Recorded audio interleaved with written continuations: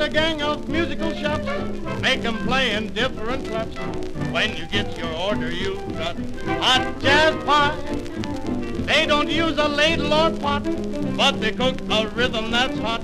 When they're done, believe it or not, it's jazz pie.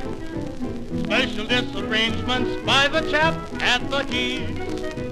He's the one who cooks up all those weird harmonies. Tell the leader just what you wish. Order any musical dish. You will get it right on the spot. Hot jazz pie.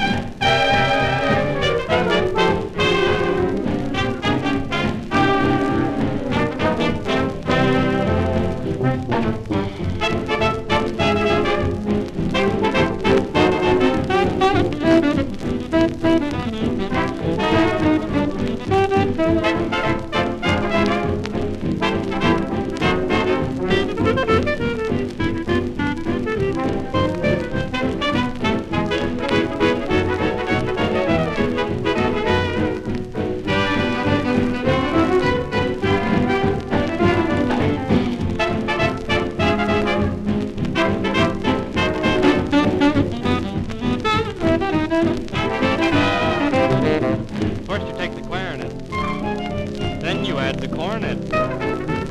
Mix 'em up and what have you got? Then you take the saxophone and a touch of trombone. Mix 'em up and what have you got?